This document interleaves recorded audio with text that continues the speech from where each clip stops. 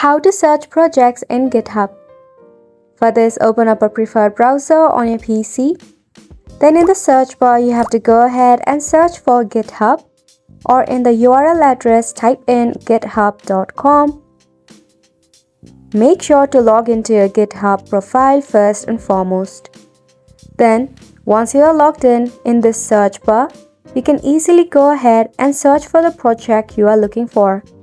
For an example, I'll be typing in Java as the keyword.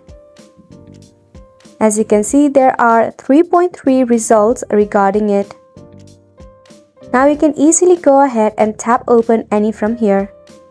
If you want to filter your results, go ahead and tap on any one under filter by.